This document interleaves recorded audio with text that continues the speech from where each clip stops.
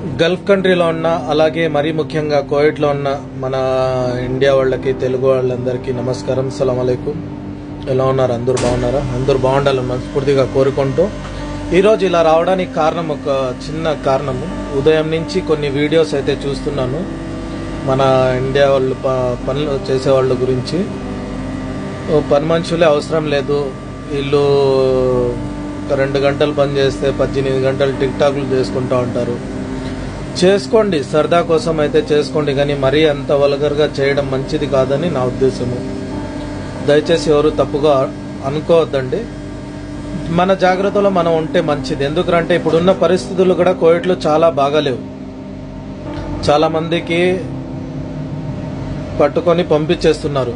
కారణాలు వెతుకుతున్నారు పంపడానికి. దయచేసి జాగ్రత్తగా ఉంటారని మరీ ముఖ్యంగా కోవిడ్లో మన తెలుగు వాళ్ళంతా జాగ్రత్తగా ఉంటారు. మనస్ఫూర్తిగా కోరుకుంటున్నాను